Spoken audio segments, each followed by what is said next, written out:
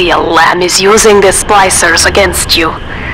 Most big daddies are like her slaves, guarding the little ones. But someone has awakened you.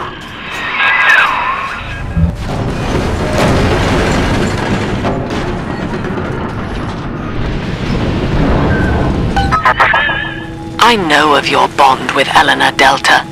To save yourself, you will come for her. But Eleanor has a destiny, one you cannot share. There is no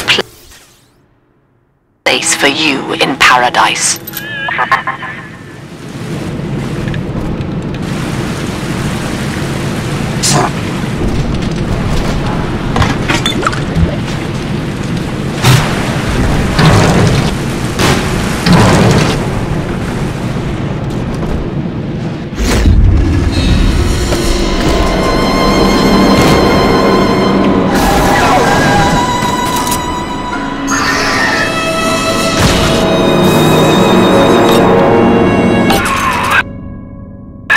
Quickly, head for the elevator.